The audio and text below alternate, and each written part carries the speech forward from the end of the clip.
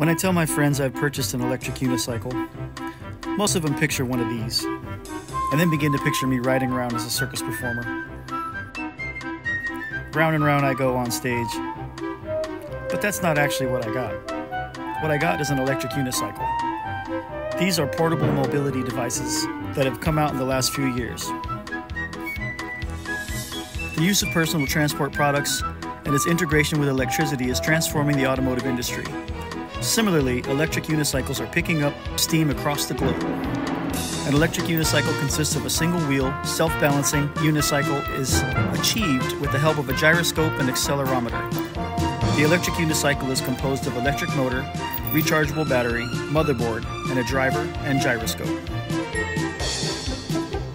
The electric unicycle is driven with the help of electric motor rather than human interaction. The versatility to drive on any surface and its compact size is anticipated to grow the market. The potential is limitless.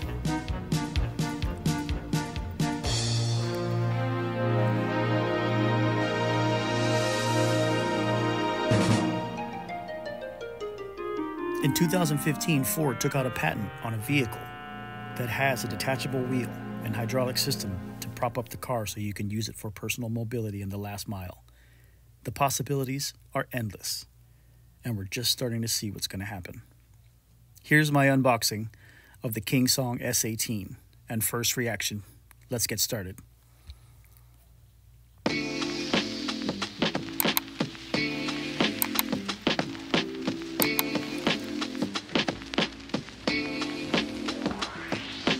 This came packed neatly. Multiple boxes on boxes. It's kind of difficult to get out, but once I got it unwrapped, you could see that it was securely packaged. A box inside of a box. My assistant helped with instruction, telling me what to do.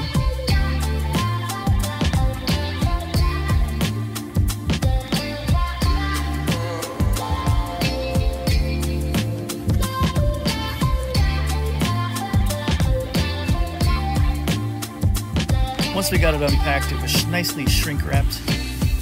Foam inserts. Comes with a charger. Its own high volume or high pressure pump.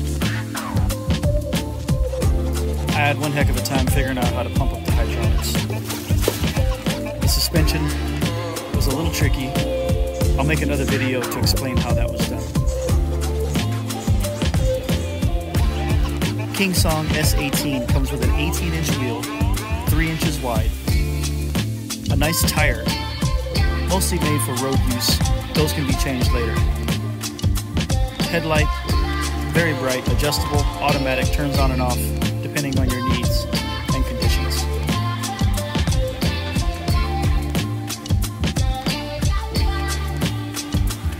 I practiced in the house after watching numerous videos on how to learn how to ride these. The main thing they said was to get on and to get off and learn how to stand on it with one leg. Once I did that for the first week while I figured out how to pump up the shock, I kind of got it down. And then once I took it out, it seemed pretty quick that I picked it up. I went back and forth a few times with the help of the fence and surrounding things just to kind of get the balance and get the feel. And then as I went, it got a little better. And then I didn't need to touch the wall anymore.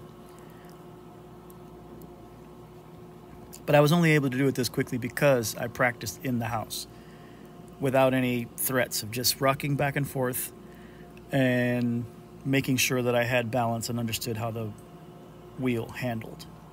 Then, once I got rolling, I was able to ride around. I practiced in a safe environment on the tennis court in my apartments. And I was off figure eights, round and round.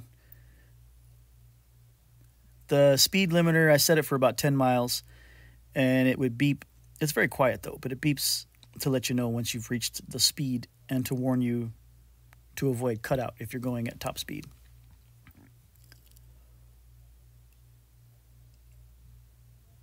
But after some practice, um, still working on it, I've gotten out and I'm able to cruise around without losing my balance and learning how to center my body over the main point of the wheel.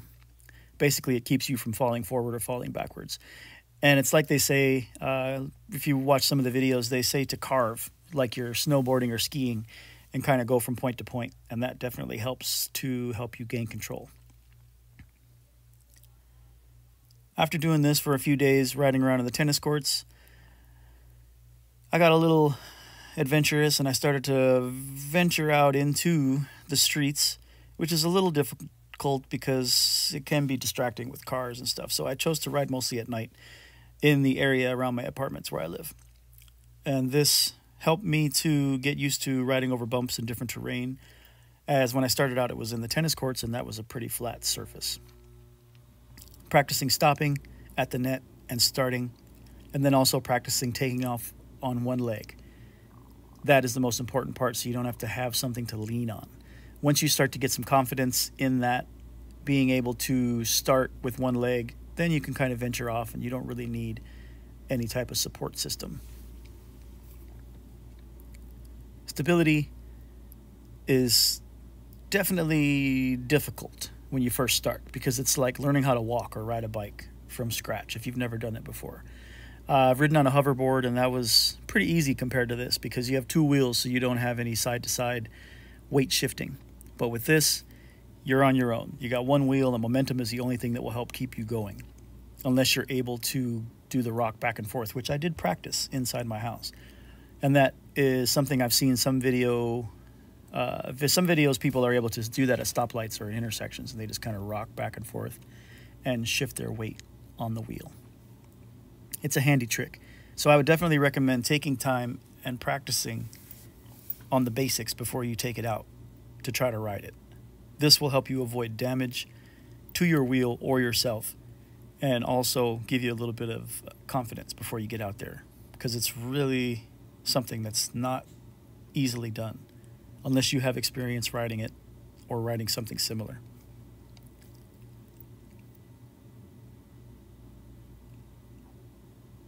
After doing this for the first week while I waited, when I got my wheel in the mail, it had a valve, a faulty valve that was inside of the shock. So any air that I tried to put in, it just leaked right back out.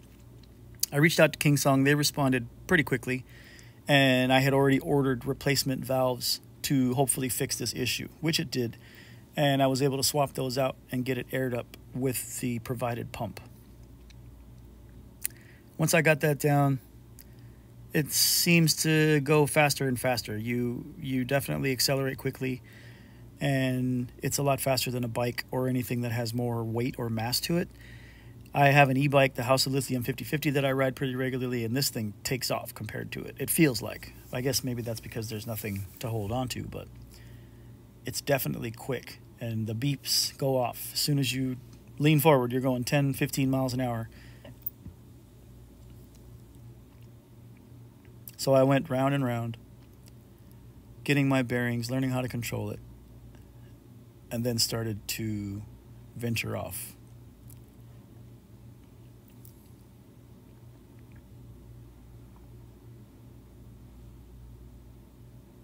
One of the important things is being able to stop with one leg without any supports. So I went back and forth and I stopped at the net and practiced stopping and then starting without any supports. Once I was able to do that, then I took it to the streets. And this gave me experience riding through dips and riding over different surfaces and different terrain. Some of the bumps, some of the curbs, some of the washes will throw you for a loop. But with the suspension, it makes it really smooth. It's difficult at first to get to learn to ride this because you're using muscles that you've never used before, probably, unless you have, like I said, experience riding other devices like this. Uh, but for me, I had to pace myself, and my feet would feel like they were going to start to cramp up, and I would have to take a break. And I would just get off it and walk it off, and then get back on it once my feet had relaxed. Uh, from what I've watched, some of the videos online, they say your feet placement is very important and where you place the weight on your feet. This will also help to avoid your feet overworking and becoming tired too quickly. It's still something I'm working on, but I've noticed as I ride more and more, I'm able to go further and further. This is probably week two that I've had this, and I have a blast riding around. I have all the safety gear. I got the wrist guards. I got knee pads. I got elbow pads. I got a helmet. And I make sure I strap up with all that stuff before I go out because you don't want to take a fall and bang yourself or the wheel up. So it was really very valuable for me to practice this in the house. They say don't do it because it may take off and shoot across the room and damage something, but for me, I, I didn't have any issues because I had the previous experience of riding on a hoverboard. So that same mechanic of pushing forward and backward with your toe and heel is the same way that these operate. So if you're able to ride one of those, you can probably figure one of these out pretty quickly. It's just like half a one because there's only one wheel. On these trips around the block, I, I slowly expanded my territory to, to feel more comfortable with riding up hills and hitting bumps and that kind of thing because it it's definitely something you're not used to. The headlight is strong. It adjusts as you go in speed higher or it lowers when you go slower.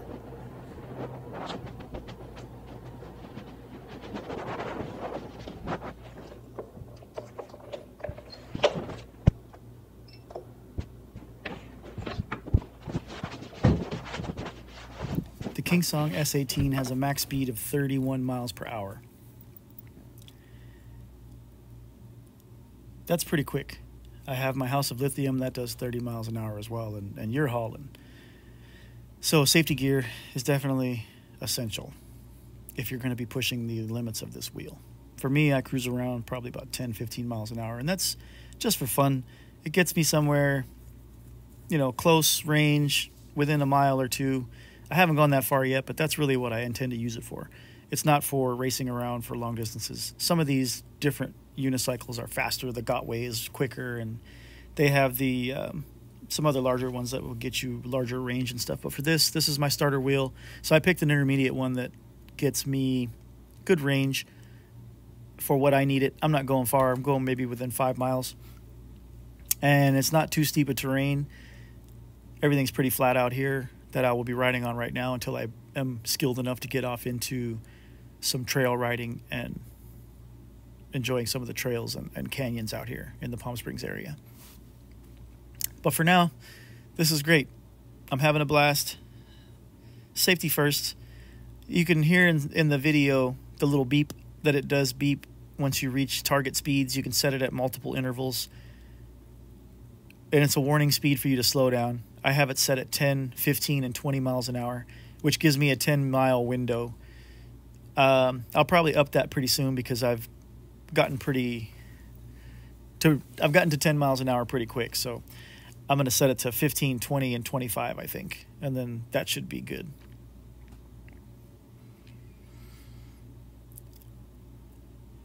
Getting comfortable with shifting your weight and predicting where you're going initially I've stared at the ground. It felt like same thing with snowboarding. You don't or anything. You don't want to look where the ground is. You want to look where you're going. So with this, I noticed as I've gotten better at riding, I'm able to kind of scan the the area better and swivel and look around.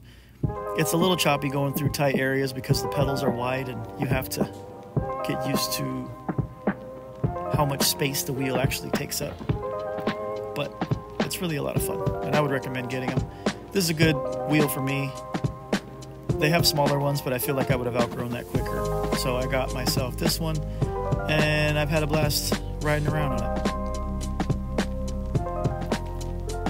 I tried going out with the 360 camera, but I didn't have it in 360 mode. So I got this shot, which is basically of the unicycle and my feet. And that's what I got right now because it's 107 degrees outside and I didn't feel like going back out there to get another shot.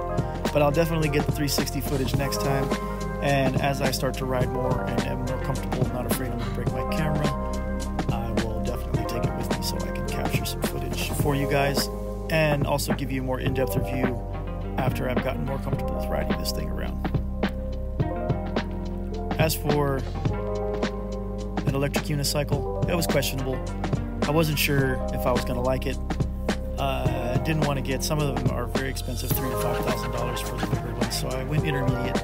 This one I got on a pre-order. It's the third generation King Song S18, And compared to some of the other videos I watched with the newer or the older versions, this one's great. I think they fixed a lot of the issues that they had in the old ones with noise and rubbing and friction, and it's worked out great for me.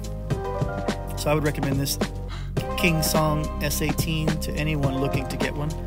And if you need any information or have any questions, please put it in the comments below, and I will make sure that I answer right away. And thank you for watching. Please like, subscribe, and share this video. See you in the next one.